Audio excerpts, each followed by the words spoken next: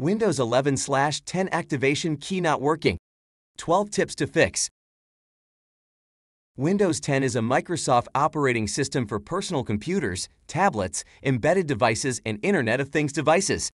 Users can activate their Windows operating system using the Windows Activation Key, a special string of characters. In addition to ensuring that the program is being used in compliance with the license agreement, it acts as a way to confirm the legitimacy of a copy of Windows. This video will go through the tips to fix Windows 11-10 activation key if not working. Tip number 1. Check the activation status. To confirm that Windows is active, users should also check its activation status.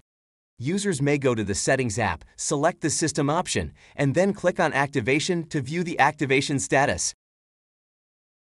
Tip number 2. Start the Windows Activation Troubleshooter.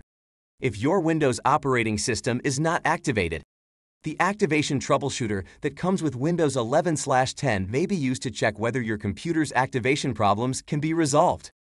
The Windows Activation Troubleshooter may be accessed in Windows 10 by clicking Start then Settings Next Update and Security, lastly Activation and clicking Troubleshoot. Tip number 3. Activate Windows with Command Prompt. Users can also use Command Prompt to fix activation key issues.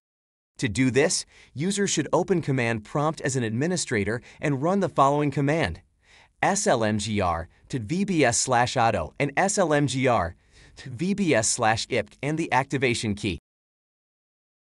Tip number 4. SFC may be used to check and fix system files. Another issue that could prevent Windows from accepting a working activation key is corrupted configuration files. If that's the case, there's still some chance. You may rapidly conduct an SFC, System File Checker, check to repair the corrupt files. Tip number 5. Restart the computer.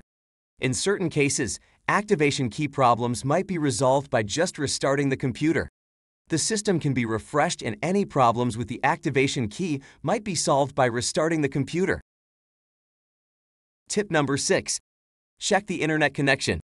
An internet connection is necessary for Windows activation, and occasionally, problems with the internet connection might result in activation key problems. Users need to check that their network is stable and that their internet connection is operating normally. Tip number 7. Check the date and time settings. Problems with the activation key might result from incorrect computer date and time settings. Users should check that their computer's date and time settings are accurate.